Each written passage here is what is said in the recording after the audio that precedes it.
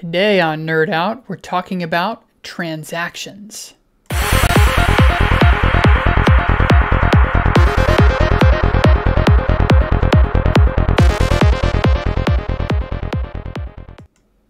Welcome back to Nerd Out, the show where we take a look at Cardano and we break it down, but we don't dumb it down. Today we're talking about transactions on the Cardano blockchain and kind of what's inside, what's the guts. And so without further ado, let's jump into it. So, transactions, what are they? They are instructions for modifying the ledger state so that everybody agrees on who has what tokens, what ADA, etc. Uh, they can spend UTXOs. Remember from previous videos, UTXOs are the actual amounts of things that sit underneath your addresses.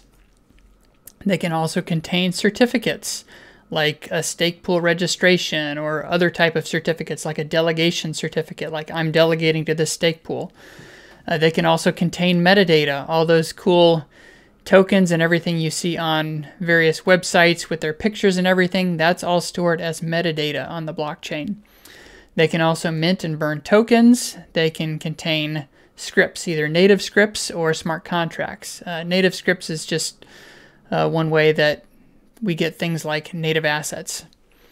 And there's probably some other stuff I don't know about yet, but you know, I'm still learning along with you guys. So we'll talk about what we know about today, and maybe if I learn more, there will be a future video.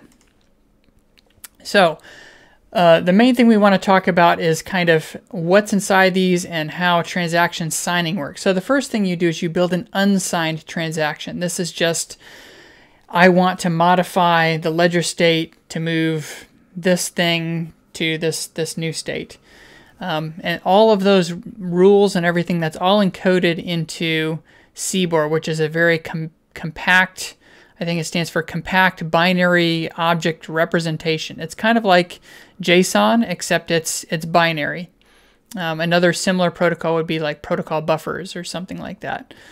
But this is uh, very comp compact. It's used on the Cardano blockchain a lot to compress data or, or represent it as small as possible. So if we decode this, what does that unsigned transaction look like? Well, it looks like a, a couple things. It's a map. It starts off with a map, and this is the main transaction body. And then it has some other stuff. Um, in this particular one, this transaction is minting a token.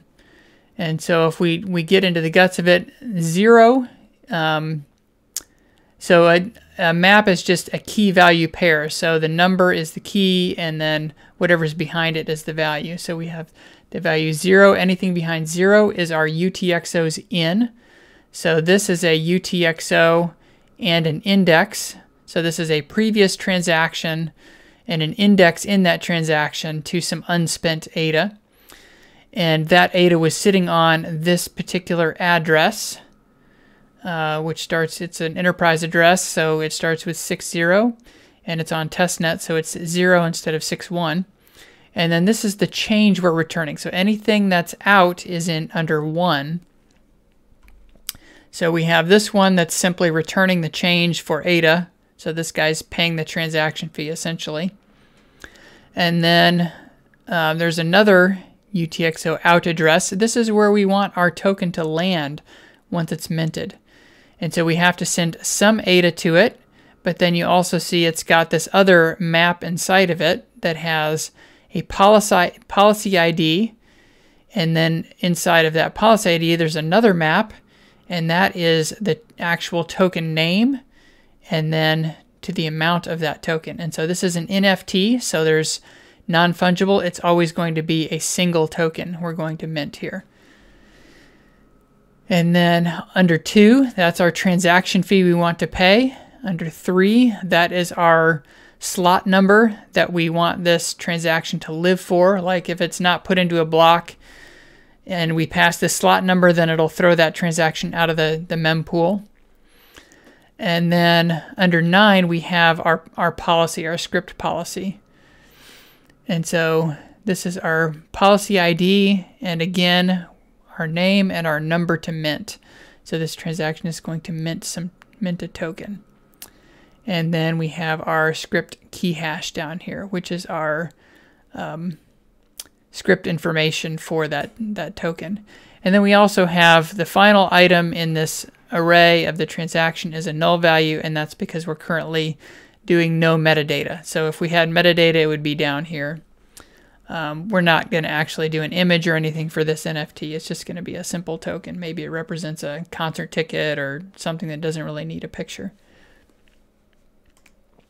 So what does a signed transaction look like? Again, it looks like a giant blob of, of CBOR binary garbage, but let's look inside of it. So this is after we've signed it with our private key along with our uh, native asset private key. And so if we dig into the guts of it, we again have this whole first part looks identical.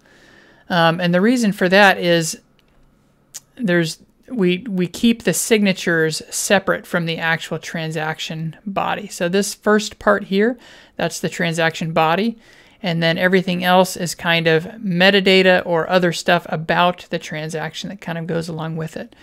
And so you see under zero, this is where all of our signatures go.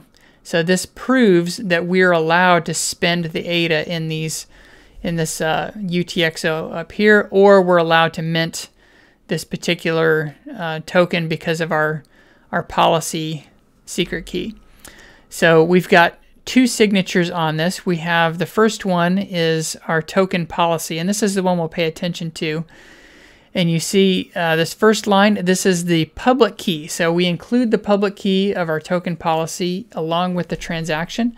And then we have our signature. This takes the transaction body, signs it with our private key, which is the S key, and then we get this signature. And using that signature, somebody can take these two pieces of information and validate that, yes, we are allowed to create that token. And then the other is a signature just for our payment key that says we're allowed to spend this ADA and pay the transaction fees and everything like that. So how does this signature actually get created? I created some sample code here. Let's take a look at that. So we have, again, our, our body coming in. This is our unsigned body. And what I'm attempting to do here is match up that, that value, that signature we saw over here, the 88886F1.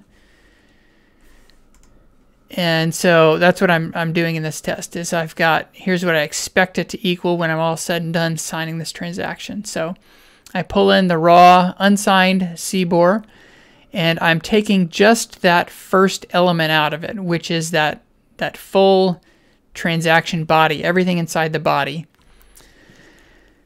And then I am building my secret key and in the library I'm using, it expects the secret key to be a combination of both the S key and the V key.